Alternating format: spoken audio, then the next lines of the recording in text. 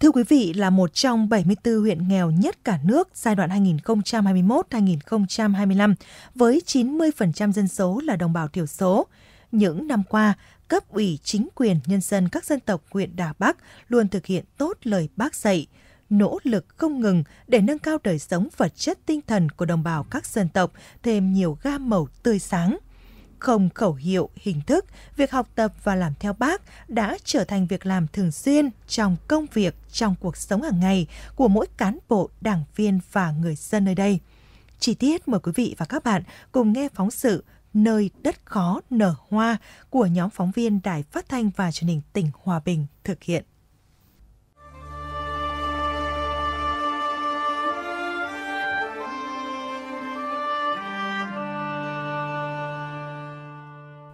Cùng với cán bộ chiến sĩ Ban Chỉ huy quân sự huyện Đà Bắc, chúng tôi tới gia đình hai bà cháu Trần Mạnh Quang và Kiều Thị Thêu ở xóm Xèo, xã Cao Sơn. Trong ngôi nhà nhỏ, dường như không có vật dụng gì đáng giá, gọi là nhà chứ thực ra chỉ là một căn lều tạm bợ do bà con hàng xóm cùng góp công góp sức dựng lên để hai bà cháu có chỗ che mưa, che nắng. Trong không gian chật trội toàn mùi ẩm mốc, bà Thêu tâm sự – Bố cháu Quang mất khi cháu mới được 6 tuổi do bị bệnh nặng, từ đó mẹ cháu bỏ đi không trở lại. Mặc dù hoàn cảnh khó khăn, nhưng Quang luôn cố gắng sống tự lập và có nghị lực rất lớn trong học tập. Thấy hoàn cảnh gia đình khó khăn, Ban Chỉ huy quân sự huyện Đà Bắc đã nhận đỡ đầu cho Quang với mỗi tháng 300.000 đồng để em tiếp tục thực hiện ước mơ đến trường. Em Trần Mạnh Quang ở xóm Xẻo, xã Cao Sơn nói. Hiện nay thì em cũng đã được ờ, các chú bộ đội hỗ trợ cho một phần nào đó trong việc học tập để em có thêm động lực đến lớp, đến trường nghe cô giáo giảng bài, đến lớp đúng giờ và về nhà thì có thể làm thêm bài tập ở nhà. Em sẽ cố gắng học tập hơn để sau này có tương lai tốt hơn cho mình. Chia sẻ thêm về hoàn cảnh khó khăn của gia đình, bà Kiều Thị Thêu, xóm xẻo xã Cao Sơn, huyện Đà Bắc cho biết thêm. Cái hoàn cảnh gia đình tôi thì khó khăn quá, bố nó phải ốm mười à, ờ, hai năm. Thì chả có cái gì cả. Đến lúc bố sống mất thì là các bác lúc nữa các chú lúc nữa hoàn cảnh có hai bà cháu. Gia đình cũng khổ lắm. Chả có cái gì cả. Bố cháu thì tiểu đường. Thì là mất ốm mất. Chỉ có hai bà cháu thôi mình sáu tuổi thì mà cháu là cứ cho nhau đi học, đi hành. Đi đâu có bà con cháu. Thì năm mà cháu là lớn bây giờ thì nó vào cấp 2 thì bà cháu không phải đi. Thì có các bác các chú giúp đỡ gia đình nhà cháu. Thì cũng cảm ơn. Với phương châm ba trực tiếp, tuyên truyền trực tiếp, lựa chọn đối tượng trực tiếp và trực tiếp trao tặng Thời gian qua, cán bộ chiến sĩ Ban Chỉ huy quân sự huyện Đà Bắc đã thực hiện một cách hiệu quả, thiết thực, hoạt động ý nghĩa ở địa phương nhằm cụ thể hóa việc làm theo tư tưởng đạo đức phong cách Hồ Chí Minh. Thượng tá Bùi Văn Khiên, chỉ huy trưởng Ban Chỉ huy quân sự huyện Đà Bắc chia sẻ. Chúng tôi cũng đã à, thực hành vận động các lực lượng vũ trang, đặc biệt là lực lượng thường trực tiết kiệm à, từ cái đồng lương của mình hàng tháng đóng góp tiết kiệm vận động lượng dự bị động viên để tham gia đỡ đầu giúp đỡ các cái cháu học sinh có điều kiện khó khăn vươn lên trong học tập. Với cô giáo trẻ Quách Thị Bích Nụ, Phó Hiệu trưởng trường mầm non xã Đồng Duộng, một trong những điển hình của huyện Đà Bắc được nhận bằng khen của Thủ tướng Chính phủ. Trong buổi gặp mặt tuyên dương về những tấm gương tiêu biểu trong học tập và làm theo tư tưởng đạo đức phong cách Hồ Chí Minh năm 2022 của Ban tuyên giáo, lại để lại ấn tượng sâu sắc về câu chuyện giản dị, truyền cảm hứng với hành trình 17 năm chèo thuyền chở học sinh qua sông gieo con chữ.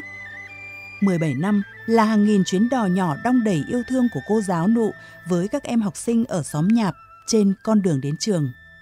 Xã Đồng Ruộng thấy rất là nhiều cái khó khăn. Thứ nhất là về cái địa hình đi lại. Các cháu đi học thì các cháu phải đi thuyền. Về kinh tế gia đình các cháu rất là khó khăn.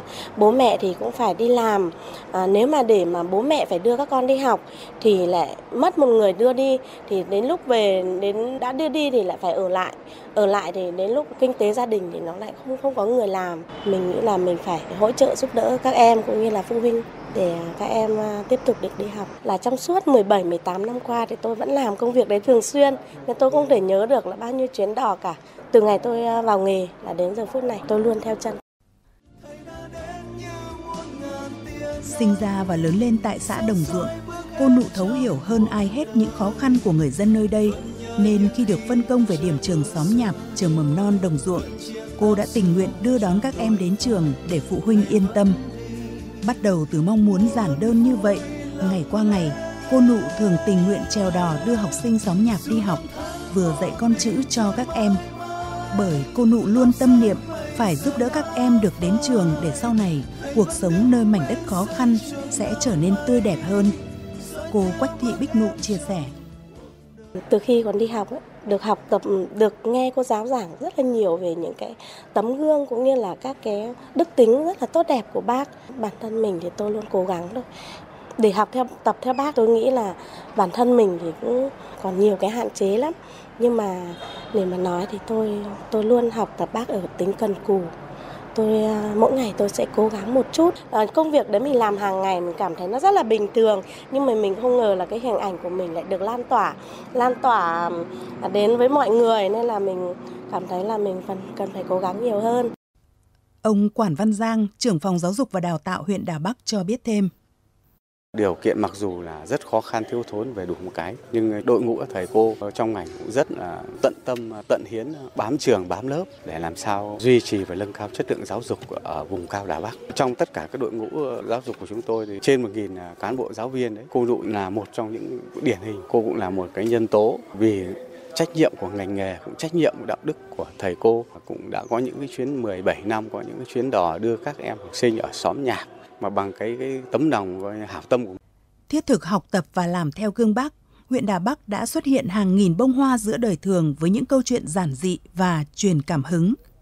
Đến cuối năm 2022, Đà Bắc có 123 mô hình tiêu biểu trong thực hiện chỉ thị số 05 của Bộ Chính trị về học tập và làm theo tư tưởng đạo đức phong cách Hồ Chí Minh. Trong đó, tập thể có 44 mô hình, cá nhân 79 mô hình tiêu biểu điển hình tạo sức lan tỏa trên các lĩnh vực. Đồng chí Hoàng Văn Đảm, Phó Bí thư Thường trực huyện ủy Đà Bắc cho biết thêm. Trong ờ, thời gian vừa rồi, Đảng bộ huyện Đà Bắc đã gắn cái việc học tập rất là nhiều những mô hình kinh tế, sản xuất, kinh doanh của cán bộ, đảng viên, nhiều cách làm hay, hiệu quả được nhân rộng. Tại huyện Đà Bắc thì trong thời gian vừa rồi đã có 123 cái mô hình kinh tế xã hội, đặc biệt là nhiều tấm gương như là cái tấm gương của cô giáo Quách Thị Binh Nụ, tất cả vì học sinh thân yêu, Đấy, không quản ngại khó khăn trong cái thời gian mà mưa lũ bão cô đã cùng với trò đưa trò từ nhà cho đến đến trường. Và rất nhiều những cái mô hình khác như cái mô mô hình là à, về du lịch homestay ở tại xã Tiền Phong, Hiền Lương và Cao Sơn, mô hình về giữ gìn cái bản sắc văn hóa dân tộc, mô hình bản xóm là không có con em bỏ học qua học tập chỉ thị năm là quyền đã Bắc truyền luyến thay đổi từng ngày diện mạo các vùng đặc biệt là các vùng khó khăn, hãy đổi mới thật sự và rõ nét. Dẫu còn nhiều khó khăn với huyện vùng cao Đà Bắc, nhưng ở mỗi lĩnh vực khác nhau, mỗi con người khác nhau đều có những cách học tập, cách làm theo gương bác phù hợp với điều kiện thực tế công việc. Dù chỉ là từ những việc làm nhỏ, những điều giản dị trong cuộc sống, nhưng đã hình thành ý thức tự giác trách nhiệm cá nhân và tình cảm yêu kính bác trong mỗi cán bộ đảng viên và người dân nơi đây. Kết quả đó sẽ là tiền đề để huyện Đà Bắc thực hiện thắng lợi các chỉ tiêu phát triển kinh tế xã hội mà nghị quyết Đảng bộ huyện lần thứ 25 đã đề ra. Những bông hoa trong vườn bác tỏa ngát hương mang tình yêu mênh mông của hoa một mùa quê hương, mỗi màu hoa một màu yêu thương. Gợi nhớ về bao nhiêu kỷ